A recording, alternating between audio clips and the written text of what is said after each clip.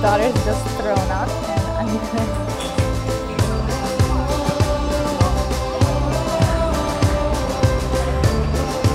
I was able to play until I was three months pregnant.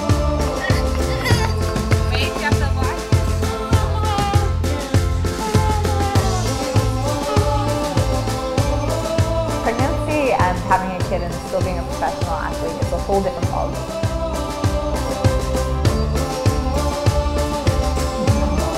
All of a sudden gaining 20 kilos and you're like, oh my god. In the back of a lot of people's heads, it was, okay, that's the end of her career.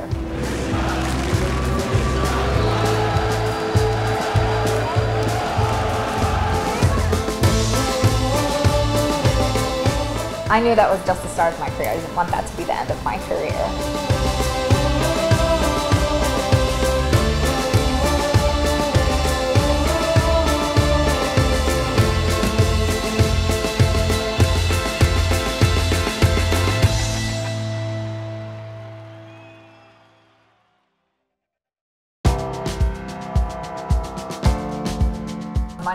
Jessica O'Rourke Carmikli.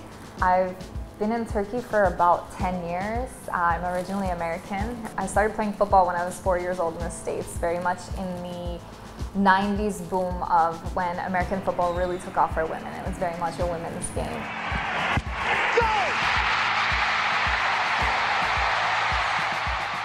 And I grew up inspired by these women that were on Pepsi commercials or Nike commercials and really proving that they can do it too. I think there was this famous commercial about Mia Hamm um, and she did a commercial with Michael Jordan and it was almost anything you can do, I can do better. And it just showed this rivalry between men and women and that women were just as good as men.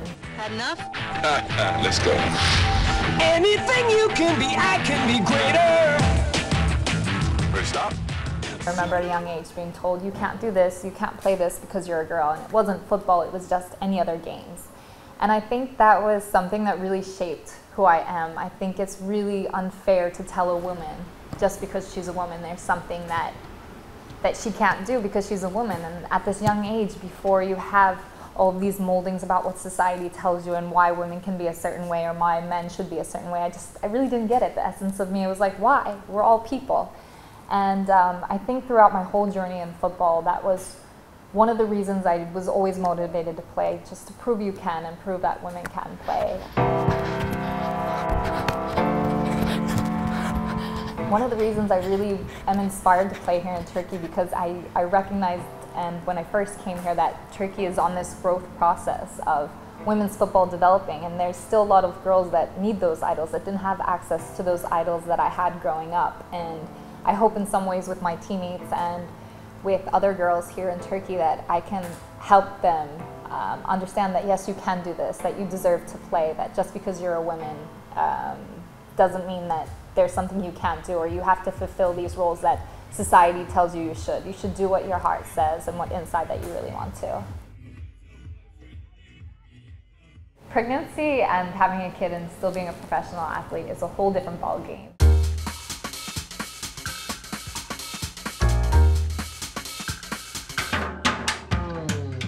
Yeah, it was exciting, but it was also scary. And it, it kind of, as a woman, it makes you think, okay, now what happens to my career? What's the next step? Can I still play? And from my experience from living in the US, I, I knew there were lots of women that had played through their pregnancies up till a certain period. Um, but in Turkey, this is the culture really regards uh, women and when they're pregnant as a really fragile and uh, delicate issue and you shouldn't carry anything or you shouldn't you know you should just sit down and rest and not do anything. And to be playing soccer in a culture where they think you should sit down and really rest and take care of yourself was um, it was a little scary. So to be honest for the first few months i didn't tell anybody. My coach didn't know. My teammates didn't know. Um, just my doctor knew. I was obviously sure to get the consent from my doctor and to make sure everything was okay Merhabalar, eee, ben Mutlu Can Zavotçu. Beşiktaş Kadın Futbol Takımları Teknik Direktörüyüm. Onu yapalım. ya da o orada mı yapsak gollarla? Yani Jessica'nın hamilelik e, döneminde tabii ki ilk kez bir e, sporcumuzun hamileliğine şahit olduğumuz için tabii e, çok farklı duygular hissettiğimiz bir dönemdi. Ama e, benim eşim de aynı dönemde hamile olduğu için ve Jessica'dan 3 ay önce yaklaşık olarak onun anne olduğu dönemden 3 ay önce de ben baba olduğum için e, onu anlayışla karşılayabildiğimi ve e, bu duruma e, destek olabildiğimi düşünüyorum. Ama tabii ki ilkti. Daha sonrasında ikinci bebekte daha tecrübeliydik onu öğrendiğimiz zaman. İyi bir iletişimle e, bu süreci güzel bir şekilde geçirdiğimizi düşünüyorum. Sporcu için aslında hamilelik kariyer bitirici bir şey olmadığını gösteren bir örnek de Jessica. Bununla beraber birçok sporcu var. E, voleybolcular var, basketbolcular var ve kesinlikle hamilelik e, bir engel olduğunu düşünmüyorum. Sadece bir süre uzak kalmanızı sağlıyor ama hamilelik sürecini dediğim gibi ve sonrasındaki o rehabilite dönemini iyi geçirirseniz de gayet e, profesyonel bir şekilde dönüş yapabiliyorsunuz Jessica'nın olduğu gibi. Tamam, okey. Peki, ben orada kadar da geliyorum. Ondan sonra şey yaparız. Tamam. Okey. I think they sort of suspected something was off at some point because I'm not a player that gets a red card or a yellow card or that argues with people um, and really causes a scene. But there was one match where I freaked out on the referee and I was just like, it was just all of these hormones raising up and he made a horrible call and I went up and I was like, are you kidding me? And I became this like monster and I just remember my coach and uh, the team manager looking at me like, okay? Like something's not right, you know? And uh, after that, I had gone in the locker room and had a fight with one of my teammates too, and they were just so surprised because they never saw this side of me. It was just like all these emotions surging up. And then after that point, I felt so bad about the way I reacted, but it was just these hormones that I had no control of. There was nothing I could do to control it. And um, I went to my teammate and I went to my coach and I said, Look, um, I don't know how to say this. It's not easy to say. And it's just, you're a little scared too because it's never happened. And uh, said, Look, um, I'm pregnant. I'm going to have a baby. And I think they kind of guessed. They kind of assumed that something like that had been up. And uh, yeah, they were supportive and they were excited because it was actually the end of our season at that time too. So they were excited for me, but I think in the back of a lot of people's heads, it was okay, that's the end of her career. And um, I knew that was just the start of my career. I didn't want that to be the end of my career.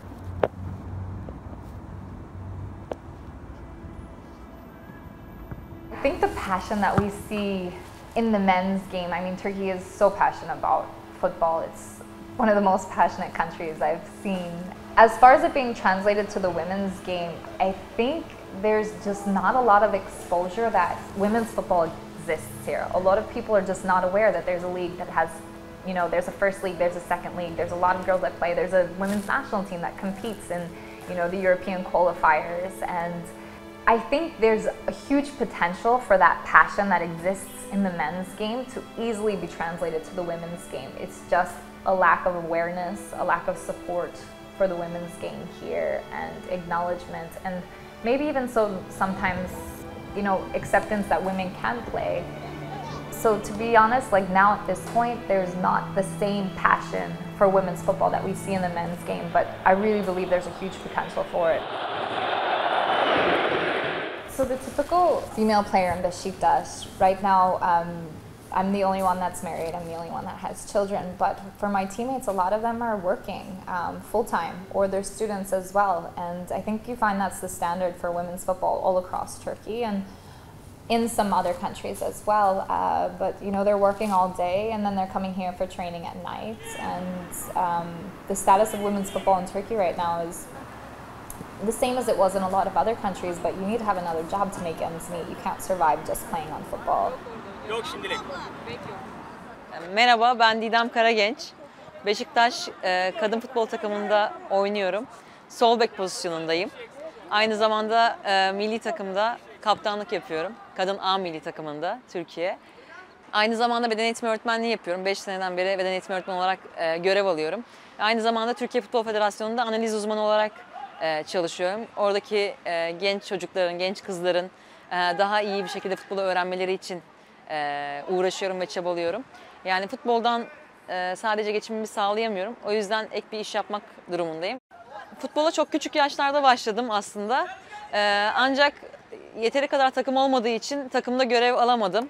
Yaklaşık 11 yaşında lisanslı olarak bir futbol kulübü vurdum, buldum ve 11 yaşında e, resmi olarak, lisanslı olarak futbola başlamış oldum. E, bu problem oluyor genelde Türkiye'de. E, çünkü çok fazla takım olmadığından dolayı çok sayıda kulüp bulamıyorsunuz. Türkiye'de kadın futbolu ancak gitgide gelişiyor. Avrupa düzeyinde, Avrupa- seviyesine ulaşmaya ve yaklaşmaya başladık diyebilirim. Çünkü e, A milli takımla şu anda Avrupa Şampiyonası grup eleme müsabakaları oynuyoruz ve maçlarımız e, çok iyi gidiyor. Grup maçları oynuyoruz. İnşallah bu sene e, Avrupa Şampiyonası'nda iyi yerlere gelip ülkemizi daha iyi yerlerde temsil etmek istiyoruz.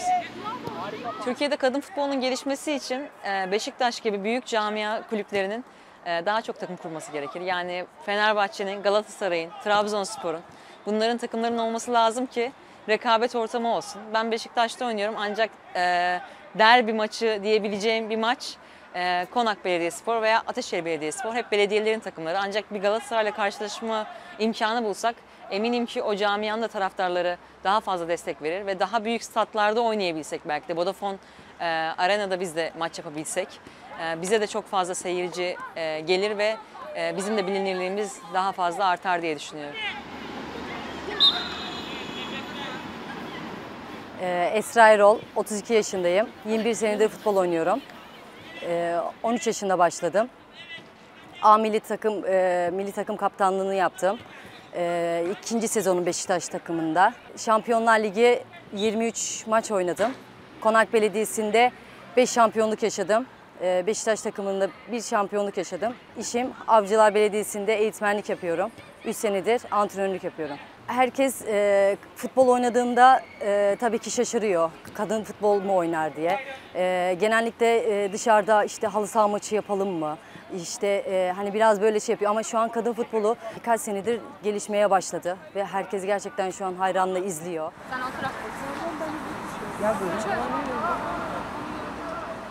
Sevgi Çınar, 25 yaşındayım. Ee, futbolcuyum. Beden eğitimi öğretmeniyim aynı zamanda. Ee, küçük yaşlarda futbola başladım. Babam sayesinde başladım. Futbol e, dünyaca erkek oyunu olarak bilinebilir ama bence sadece erkek oyunu değil, aynı zamanda kadın oyunu da. Çünkü biz e, kadının gücünü gösterdik bu sene. Türkiye'de kadın futboluna ilgi artması için öncelikle e, maçlarımızın televizyonlarda, televizyon kanallarında yayınlanması gerekiyor.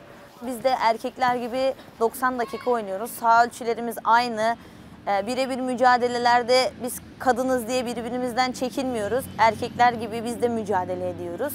Futbol takımlarının açması gerekiyor kadın futbol branşını. Mesela Beşiktaş'ın olduğu gibi işte Fenerbahçe, Galatasaray, Trabzonspor, diğer takımlar da eğer e, bize katkı sağlarsa, kadın futboluna destek olursa daha da gelişeceğimizi düşünüyorum.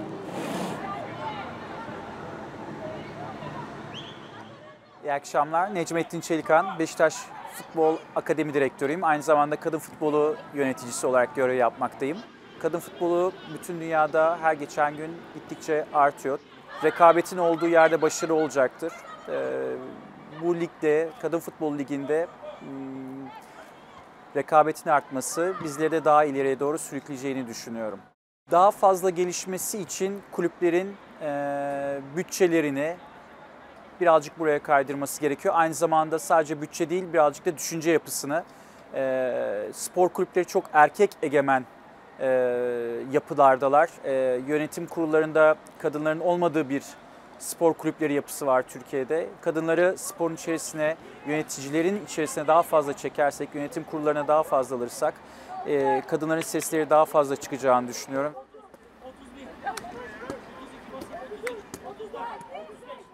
Jessica hem iyi bir futbolcu hem de iyi bir anne. Ee, çocuklarıyla geliyor antrenmanlara. Hamileliği dönemde de maç oynadı. Ee, birkaç tane lig maçına çıktı. Tabii bundan hocamızın haberi yoktu. Daha sonradan hocamız öğrendi. Jessica çok güzel bir insan. Ee, anne olarak da çok güzel bir insan gerçekten. Biz burada görüyoruz, yaşıyoruz. Çocuklarını antrenmanlara getiriyor, çekimlere getiriyor takım organizasyonlarına getiriyor ve her zaman e, çocuklarının üzerinde Beşiktaş formaları. Yani küçük çocuğu da olsa, çok küçük de olsa, bebek de olsa onun üzerinde biz Beşiktaş formasını görüyoruz. En büyük. Beşiktaş. Bize çok büyük bir örnek diyebilirim. Çünkü kadınların e, futbol oynaması zaten başarılı olamaz diye beklenirken o üstüne iki tane güzel e, yiyen e, verdi bizlere ve e, onlarla beraber hala oynamaya devam ediyor. Bu bize ilham veriyor. Yani kadınların yapamayacak yapamayacağı hiçbir şey olmadığını gösteriyor. Gerçekten inanılmaz bir kadın. E, bu demek oluyor ki yani hem kadınlar futbolda oynayabilir, hem evlenebilirler, hem çocuk da yapabilirler. E, bunların hiçbirisi e, kadınların e, yapamayacağı şeyler değil.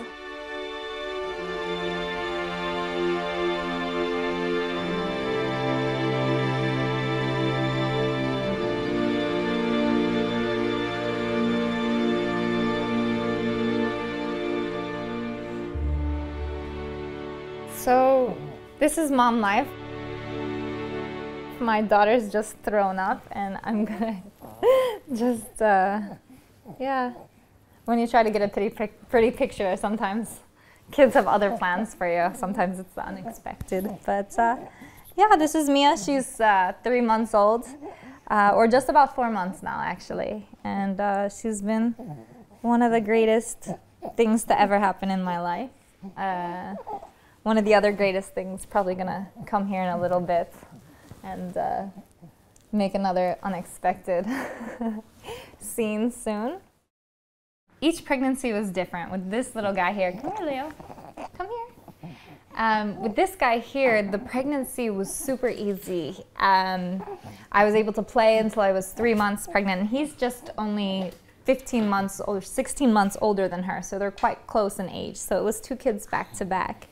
And uh, during his pregnancy, it was really easy for me to stay active in sports. And um, I played until three months. I played our last game of the season. I was still skateboarding, kite surfing, water surfing, um, wave surfing in Hawaii. And uh, it was really easy the whole nine month period with him.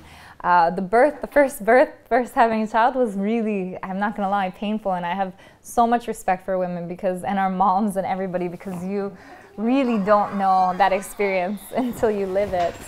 And um, yeah, with Mia, it was uh, it was the reverse. The uh, the pregnancy was a lot more difficult. The first trimester, I had horrible morning sickness. I couldn't get out of bed. I was just throwing up all the time. But the birth was really easy, really calm. Um, so yeah, and then uh, recovery after my son took a little bit longer than it did with her. I was actually up and on my feet in uh, in just a few hours after giving birth to her. Where with my son for two weeks, I really couldn't do anything. So I think every woman has a different experience. Every athlete, every person has a different experience on healing and recovery. And um, but I think any mother, whether they're athlete or not, will tell you at the end of the day. Um, yeah, they're so worth it. Where are you going? And she's off. Abla down. He wants to see Sam. he saw her downstairs. So, being a woman, actually, you have breast milk that you need to express every four hours. Um, and if you don't, you can get ill. So you have this window of time where to train, to work out, to do some things for yourself, to get in traffic to wherever you have to go. So yeah, I would be leaving practice at uh, the girls would be cooling down. And I'd be like, Coach, I gotta go. And thankfully, he was really understanding about it as he had uh, twins, and he knew from his wife that okay, you know what, she does have to go home. She has uh, kids that she needs to take care of, but more so physical uh, needs that I have to take care of because we train at seven. There's the traffic, and uh, that three-hour window was closing down quite quickly. So. Did we get tired? Did we get tired? Do we want to go? You want to go to your dad? Uh, I'm Osan, um, Jessica's husband of two years. if we have to break down Jessica into categories, the athlete Jess and the professional athlete and the sportswoman, I think he loves that facet and uh, is really proud of that facet. Uh, but the mother, the pregnant mother, um, parts of uh, of that I think really terrified him. I think he was scared, really fearful that something might happen to the kids. Would they be okay? Um, so yeah, it was. Uh, I think that was a little bit hard for him. It was uh, it was playoff games. They were still in contention for a championship, and and uh, and she was playing full 90 minutes still at uh, three months pregnant. And and I remember this instance like and by the way, we got clearance from our doctor that is entirely okay for her to play until three months old, but th- three months of pregnancy. But regardless, your heart skips a beat when you kind of watch your wife intentionally uh, positioning herself so that the opposition uh, player would foul her and she would literally flop belly on. Your heart does skip a beat, I'll, I'll have to admit. But, um, but those are um, a few months in this journey. She put it all out there for her team. And now we have two beautiful children, and uh, it's, uh, it's another, um, I'm not to say a struggle, but, uh, but a fun transition period where she's trying to get game fit. And, and from this point on, she's back. As far as trying to get back to fitness after being pregnant, I think I put a lot of pressure on myself first and foremost. Um, because you go from being this fit person, this athlete your whole life, and all of a sudden gaining 20 kilos, and you're like, oh my God. And to be quite honest, it was at times hard to love that figure when it's a figure you're not used to. And um, I did a lot of work and I talked to some people and they said, hey, this is part of womanhood. This is what's amazing about being woman is that your body can do this and you need to love that shape of you. Um, but to be quite honest, I had a hard time with that. And, um, and I did, after both pregnancies, want to get back into shape uh, quite quickly for myself.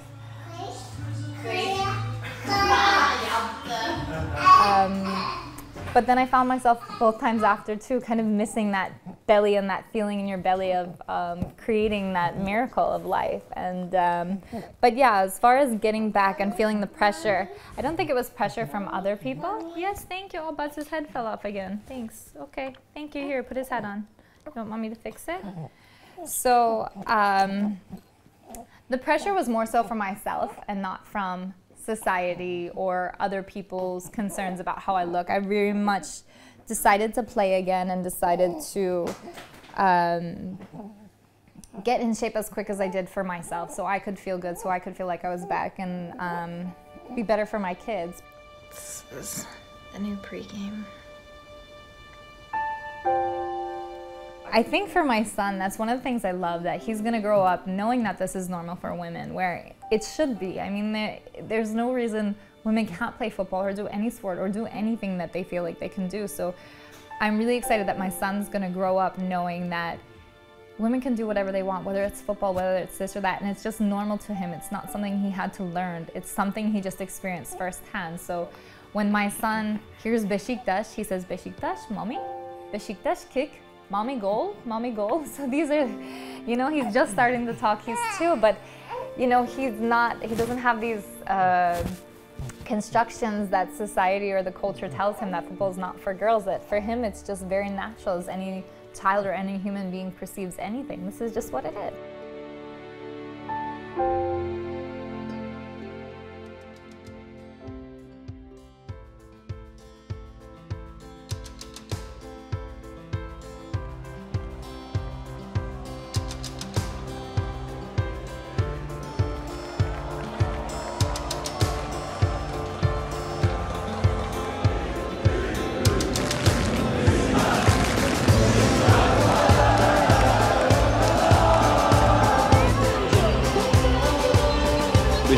Jimnastik Kulübü'nün bir kadın futbol takımı var. Bu konuda da her zaman olduğu gibi ilk önce olan biziz. Hayırlı olsun bütün hanımefendilerin Kadınlar Günü kutluyorum.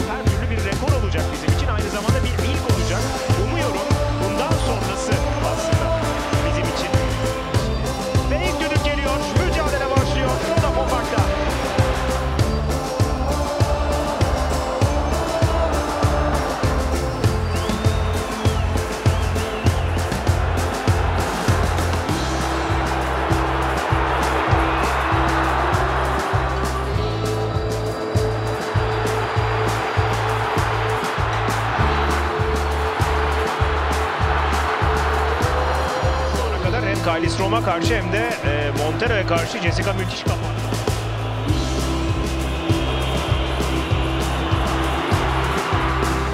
Hayır Olga Garcia güzel. Olga Garcia. Olga Garcia. Yani istemeden gol attı Olga gitseydi daha büyük. It was truly amazing. It was a really, really great honor to be here and be a part of this experience. Uh, the fans were amazing, and yeah, we're really thankful for them for having us. Muazzam bir görüntü bu. Ee, çocuklarla beraber.